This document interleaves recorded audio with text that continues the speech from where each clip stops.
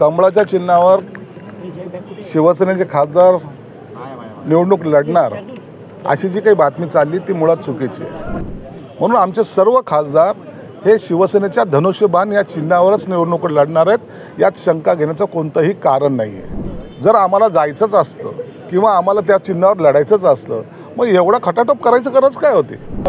शिंदे गटाचे जे खासदार आहेत ते कमळावरती म्हणजे भाजपाच्या चिन्हावरती निवडणूक निवडणूक लढणार आता तुम्ही निवडणूक अ, लढायची इच्छा व्यक्त केलेली आहे काय संजय राऊतांनी व्यक्त केली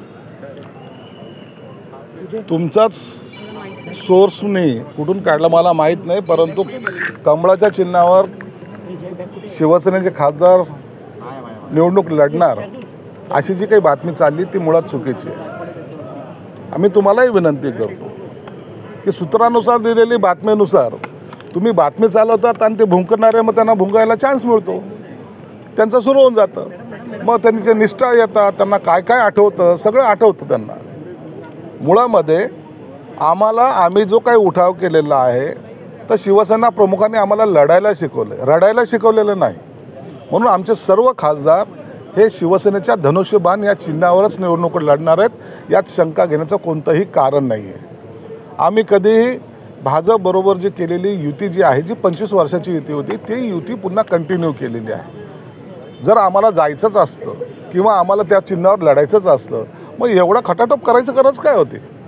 मग निवडणूक आयोग काय सुप्रीम कोर्ट काय आम्ही डायरेक्ट त्यांच्यामध्ये मर्ज झालो असतो. परंतु आम्हाला आमचं शिवसेना प्रमुखांनी दिलेली शिकवण किंवा त्यांनी दिलेले विचार हे जोपासायचे आहेत म्हणून आमचा पक्ष हा कधीही भाजपमध्ये सुद्धा विलीन होणार नाही आणि त्यांच्या चिन्हावर सुद्धा लढवणार नाही हे स्पष्टपणे आपल्याला सांगतो. काल काल रोहित पवारांचे जे आंदोलन आलं होतं त्याला त्याच्या लाठीचार्ज झाला. कसं आहे सर्व प्रकारकडे बघता? हे बघा आंदोलन करणं हा तुमचा अधिकार आहे तुम्ही ते केलं पाहिजे. परंतु आंदोलन करताना माप पाहून आपल्या एक वेगळ्या मागण्या तिथं मांडायच्या. आणि पुन्हा नाही तुम्ही इथं आलंच पाहिजे. ही जी काही भाषा आजकाल चाललेली आहे म्हणजे सरकारने तुमच्यासमोर आलंच पाहिजे नमलंच पाहिजे. हा जो तुमचा अट्टासा असतो हे हा काही बरोबर नाही आहे तुम्ही आमदार आहात तुमच्याबरोबर पाचदार लोक प्र प्रतिनिधी घेऊन तुम्ही सी एमला डेप्टी सी एमला भेटू शकले असतात. त्यांना बोलू शकतात. तुम्हाला तो अधिकार दिलेला आहे ना घटनेने. आणि म्हणून ते न करता माझ्यासमोर मी सर्वांना न नमवू शकतो. ही जी काही गुरुमी आहे ना ही गुरमी कुणातही नसावी असं माझं मत आहे. त्यांनी म्हटलं की इथल्या स्थानिक भाजपच्या शहराध्यक्षाला या ठिकाणी पाठवलं आणि त्यामुळे संताप अनावर झाला. कोण शहराध्यक्ष गेला होता? व कशासाठी गेला होता? हा काय पक्षाचा म- मोर्चा त्या पक्षाच्या लोकांनी जाऊन त्यांना काय पुढे जायचं काही कारणच नाही एक तर जायचं असेल तर मग सरकार पण गेलं असतं कोणी आमदार गेला असता. भाजपचं शहराध्यक्ष आणि शिवसेनेचं शहराध्यक्ष असे कोणी गेलेले नाहीत आणि त्यांच्या जाण्याने ते काही सरकारची भूमिका सुद्धा मांडू शकत नाही. दुसरीकडे पाहायला गेलं तर काल भरतसेठ गोगले यांची सोनावणी पार पडली. भरतसेठ असं म्हणाले त्या सुनावणीमध्ये की आम्ही सुरतला छत्रपती शिवाजी महाराज गेले होते त्याच्यावर मग मी गेलो होतो.